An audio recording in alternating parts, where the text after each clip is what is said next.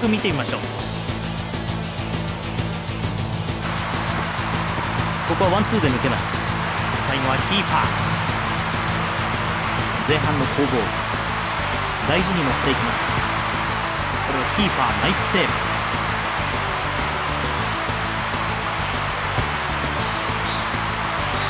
ここで前半戦が終了。エンドが変わって後半です。いいボールを出す。トッポリン先制のゴールゲット。さあ後半終了間際です。スペース空いています。